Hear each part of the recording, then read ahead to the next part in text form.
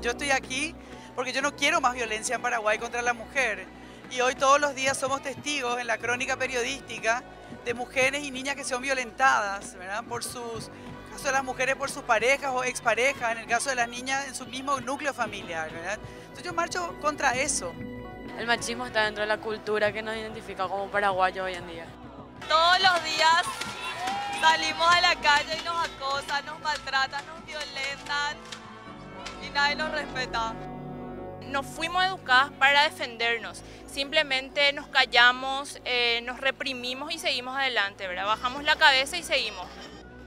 Hay leyes, pero más allá de las leyes lo que tenemos que cambiar la manera en que cuidamos y criamos a nuestros hijos para que ellos entiendan que hombres y mujeres tienen que estar como compañeros, tienen que ser solidarios, tenemos que cuidarnos, tenemos que protegernos, no lastimarnos, no agredirnos.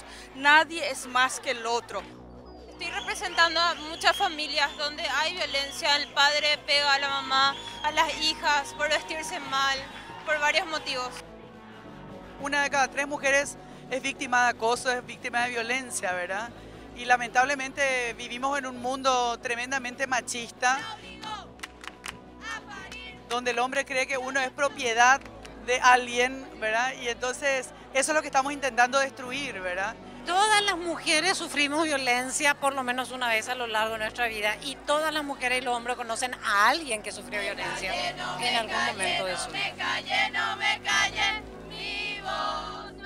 Entonces tenemos que ver cómo educamos a nuestros niños y nuestras niñas para que esa cultura machista vaya desapareciendo. No es fácil, por una cuestión cultural muy metida. Justamente con esta nueva ola de educación, eh, vamos a decirle juntas con las mujeres, estamos despertando. ¡Izquierda, la machista!